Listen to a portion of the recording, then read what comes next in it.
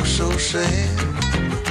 Come on now, mama, ain't nothing here so bad. You got fast cars, movie stars, party on down the street.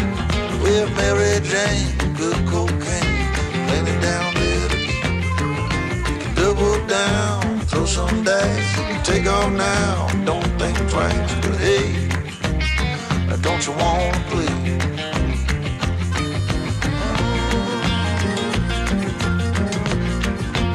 Baby, go on. How about that? Oh, gonna haul the Mecalac up to my dad's place. We're gonna put the mulcher head on it. I swung down to Global this morning, grabbed one of the adapter plates. See it sitting there. That thing weighs about 200 pounds, 220 to be exact. And she's heavy. And we gotta plumb all that in today.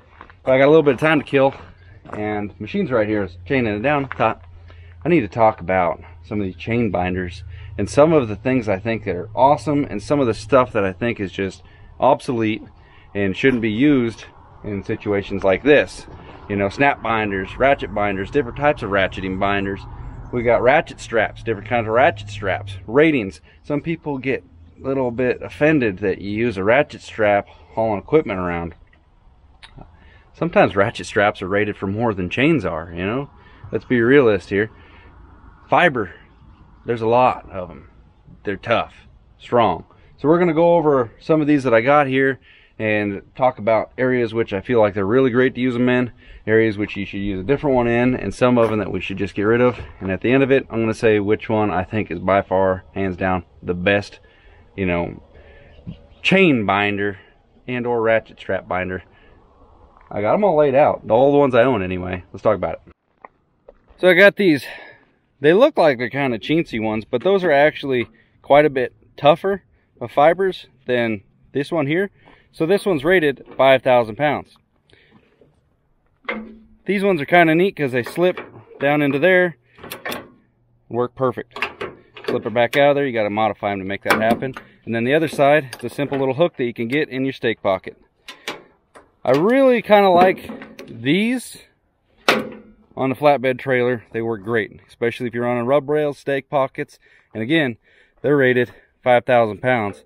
You get these ones here, that's like a Home Depot kind of edition, around 3, 3,500, maybe 4,000 pound rating on those things.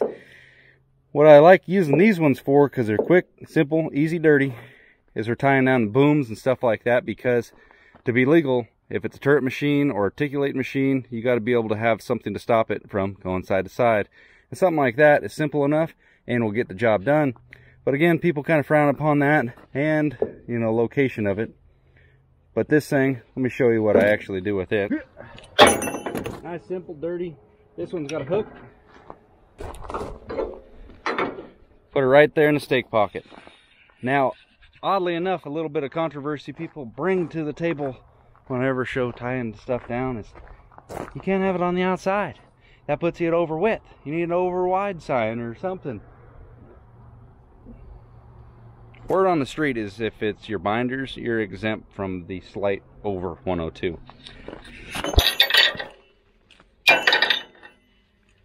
Take this guy here, give her a couple pumps, slide your excess underneath there. Done. That's all that needs to keep it legit. That's it. That's it.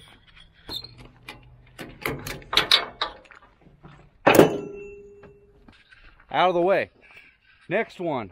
Same exact thing. Same ballpark rating. Same ratchet and everything. But it's got these little chains on the end of it. And no, I'm not using this for tying down a big piece of equipment that weighs, you know, 20 plus thousand pounds. I'd take one of these situations when you're hauling vehicles wrapping it around a hard part, you can chain it back to itself. Nice and easy, super simple. Same thing on this end. Drop it down in there. This is definitely the preferred method of hooking one of these because gravity's holding the chain. So something breaks here, the chain's still kind of, you know, kind of hanging on. Give her a couple snugs, and this one's done good to go. That way, you're not looping a ratchet strap around a sharp edge right like that, that will tear it. That's one good perk of these ones right there. And for hauling equipment, such as Kubota wheel tractor, there's various little tie downs on that thing over the tire. You can tie that thing down like a car. Those things don't weigh too much. You can get away with any of these ratchet straps. Quick, simple, easy. You don't need to have, realistically, the heavy duty stuff up here. I'll get my 200 pound big old heavy device, get it situated. Get that out. Tuck it over there.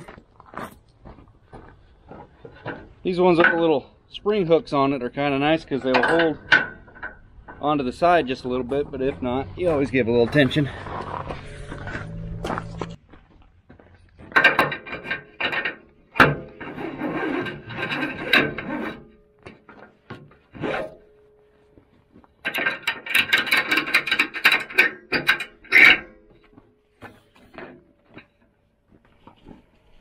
Learned this one a couple years ago. Kind of one of those tricks that went viral, but then people kind of forgot about. Wind it up. By far the best way to deal with these. Some people tie it all up, get a zip tie, get some wire tape.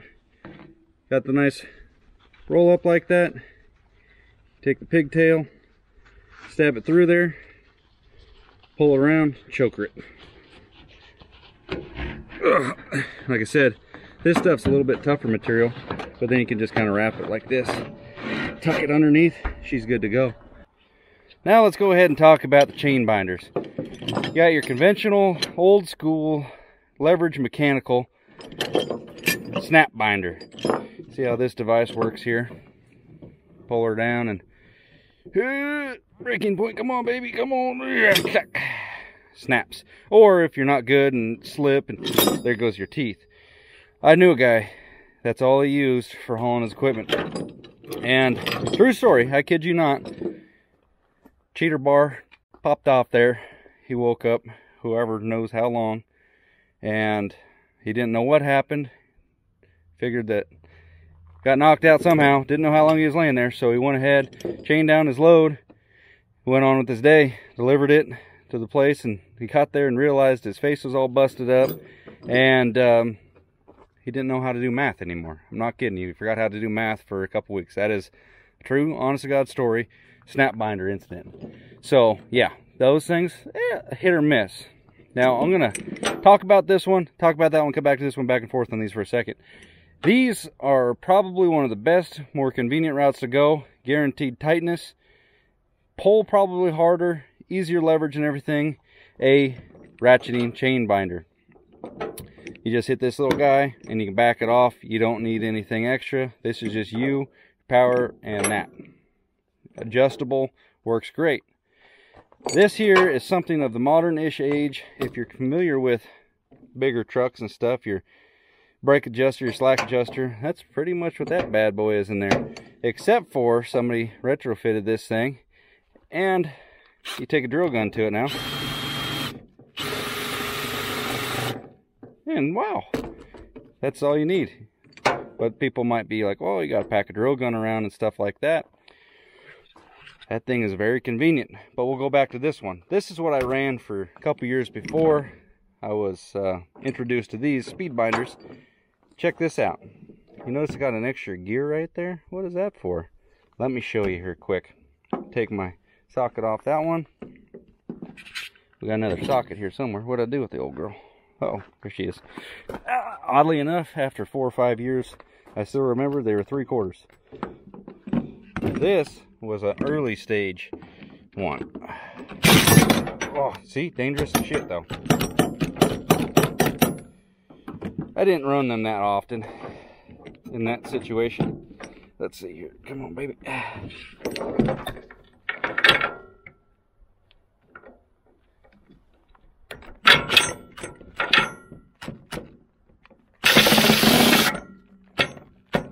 That is very quick. probably put that in first gear. What do you think?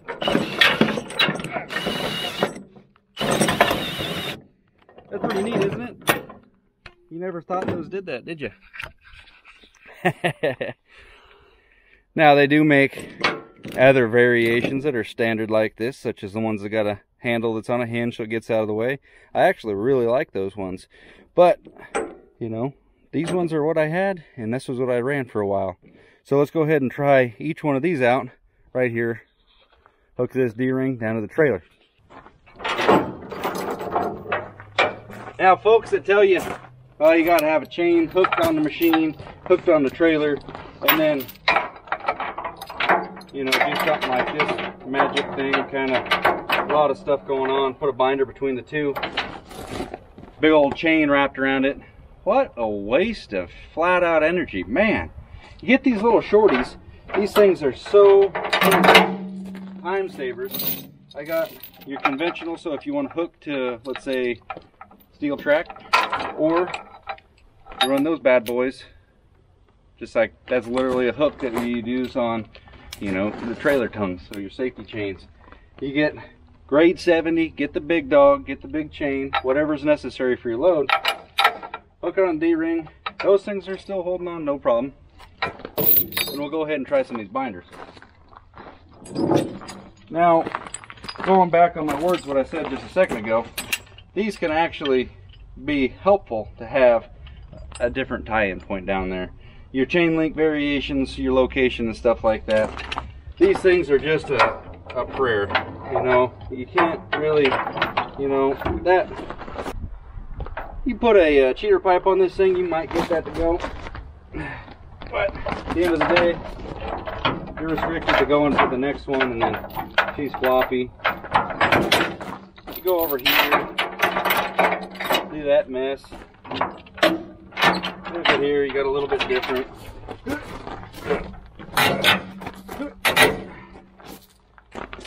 That was lucky. That was actually in a spot that that worked, but it took quite a bit of my energy. And if you're doing this day in and day out, multiple trips a day, you don't want to be doing that. So I think these are pretty much a thing of the past, except for on logging trucks. Why on logging trucks? Because you go to chain down your load, you're throwing a binder strap over the whole top of the load, and that binder or the chain will actually dig in with the tension of it, and you'll have to go down the road, the load will shift, and you'll have to readdress it. But you can actually hump on these a little bit. If the one's too far away on this, there's no way you really can get it, unless you just bend something. But with wood, it's forgiving, and it'll fall into it. So one of these actually works pretty dang well for a logging truck. This is actually where it came from. This is off the logging truck, it fell off or something got left at a job site and I picked it up. Go ahead and try these bad boys. I like to hook it right there on the edge. Hook it up there on the chain. Wrong way.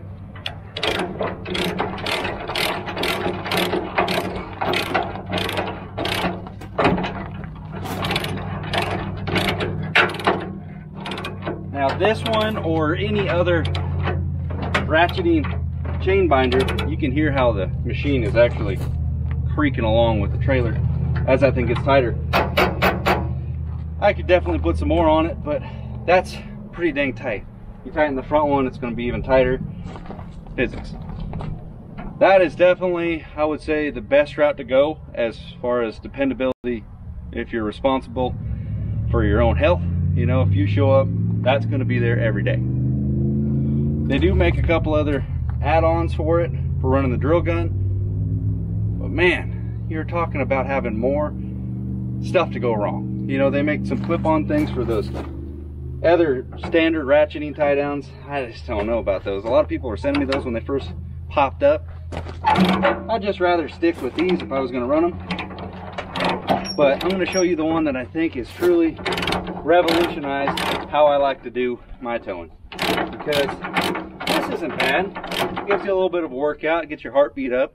If you've been sitting in the truck for a while, there's nothing wrong with this. go back to my 14 millimeter. Take that little guy off there.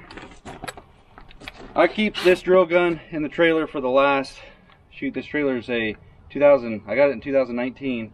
This drill gun's been with this trailer ever since. And same everything here, except for the battery. gets changed about once every two weeks or so. Some days I'll haul no machines, you know, or uh, some weeks I won't haul anything. But then some days I'll haul three, four rounds. And, you know, you just got to keep an eye on the little backup battery button right there to make sure she's charged. I take this guy, hook it on the back pocket. These speed binders, I think it was Captain Kleeman that turned speed binders onto my channel. So thank you, Captain. I believe that's, he said something about that back in the day. I, not, don't quote me, but Captain, if I gave you, you know, appreciation, either way, cool guy. But these things are slick. And I was a little skeptical at first, but I got a set, and man, watch this here. I know these things have been popping up all over. Like realistically, I like stuff that's gonna benefit me in real life, and if I could show it on the channel so that helps that company out and makes their business better, all the better. But before trying to get publicity and extra stuff, you know, saying, oh, I got the best stuff there is, let's make video on it. I want to have the best stuff there is just so I can, you know, have a functional life and everything move nice and smooth. So watch this. Put her in second gear and I use the drill gun.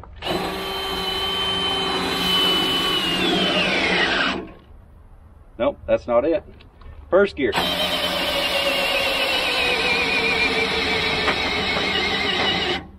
Starts creaking. Get that out of the way so you can see how tight that is.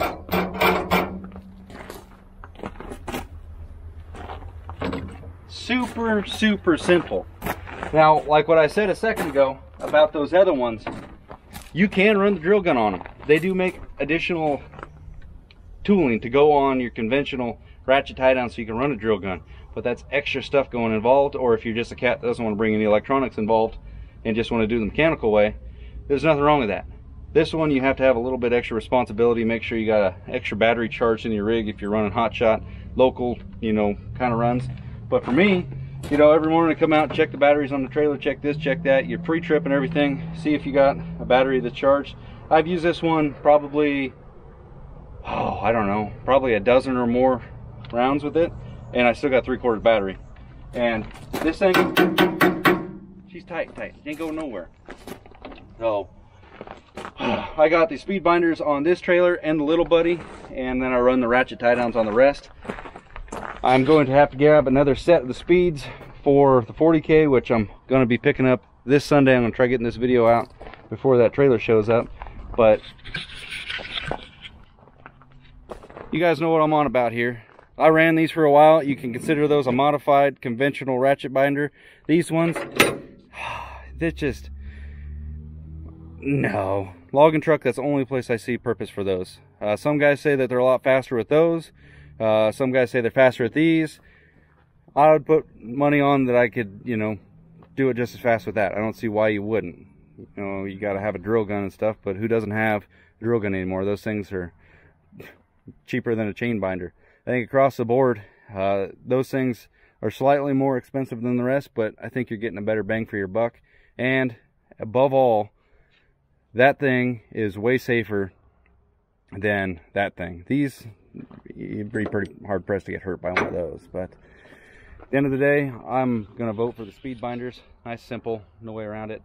Uh, so I'm going to go ahead and strap down a couple more things just to show you how I roll with it. Let's see, I got one more tie down in the side by right here. I had to do a little collection. Like these little white ones. They don't work good for anything else besides this kind of a trailer.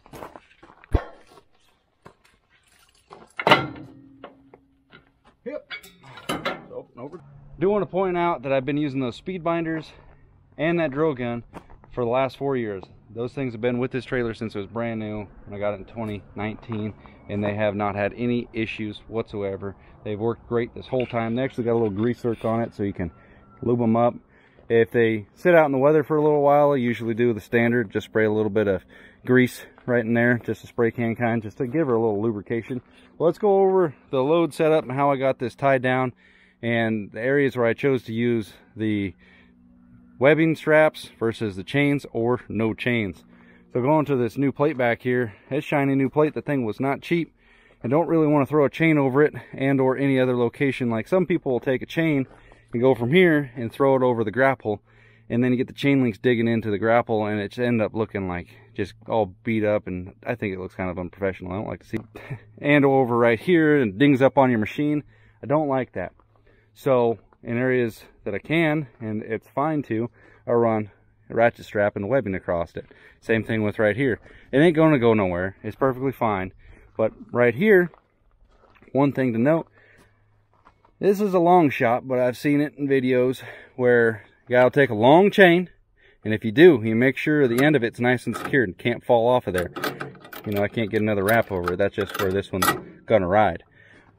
But if you got a long chain and it comes unwound, you got these spinning devices that are always rolling and spinning a pretty good RPM. Your chain goes down there and gets caught in the center of that dual, it's just going to wind it up and tear the machine, tear the trailer, tear whatever. So that's one thing that's always scared me about running the longer chains, just in case something came unplugged and it went down there and started tearing into stuff. You got to watch out for that. So that's another thing. Safety factor is one big factor you always worry about. But that right there, it's not going to go nowhere. It's doing the same effect if you had the chain going to both ends. I'm not going to go into a bunch of logistics on it, but just realistically, it's easy, functional, and safer about, you know, not destroying everything. And or spots that you don't need to run a, uh, you know, chain at all. I like that. And I've been running that way for, since I got the Mecalac. It works out really good. I did put that D-ring right there, but it just didn't, the math didn't quite work for load placement, but it's there if I need it. And this guy here, nice, simple, over the top. She ain't gonna go nowhere. Heavy duty strap that's, I mean, the strap's gonna be pulling just as hard as a dang chain, so, you know, she's not going nowhere. anyway, comment below what you guys' thoughts are on what binders you prefer, chain location placement and all that kind of stuff. Uh, FYI, I did get critics in the comment section saying chaining the blade isn't actually chaining to machine. Well, via every little mini X there is, that's the point given of tie down. There is nothing else on this side besides going through the sprocket, maybe? There ain't... See anything up there? Way up there? I don't even know how you get to it. Doesn't even make sense. That's the way all minis are. They say tie down in those spots right there. I'm gonna end it here. I gotta get this thing up to Haas's house. Gotta grab some Milwaukee batteries. They keep dying. And uh, yeah, we gotta see if we get this mulcher head on today. Hopefully by the end of tomorrow, to be realistic.